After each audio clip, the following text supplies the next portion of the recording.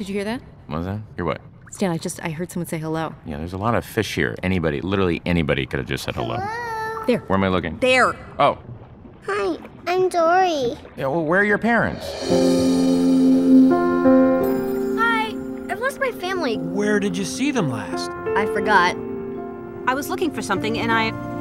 Okay, totally get it. Date night. I suffer from short term memory loss. It runs in my family. At least I think it does. Where are they? Dory, there you are! Look out! Oh, look at this. Our friend got taken into whatever this place is. It's a fish hospital. I feel fantastic! Listen! Dude. Name's Hank. I have to find my family. That's a hard one, kid. Well, I guess you're stuck here. You're not helping, Bill. Grab your things! I lost my family. That is so sad. You weren't there. Not a great swimmer. Our friend is in there lost alone. Bailey, you've got to use your echolocation. Ooh, I feel stupid. Poor babies. Let me get that for you. Mom!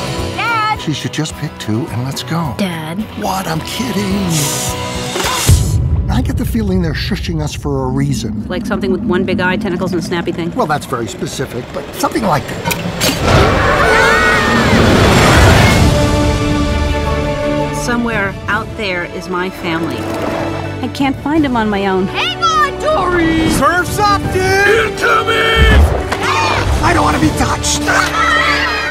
Sorry. That's okay. Everybody does it. Nothing to be ashamed of. Ah, I trust Becky. You trust Becky. Becky's eating a cup. Ah. Just keep swimming. Mom! Dad! Does this mean we have to say goodbye to Dory? I don't know why I thought I could do this. Dory, you are about to find your parents. And when you do that, you'll be Home.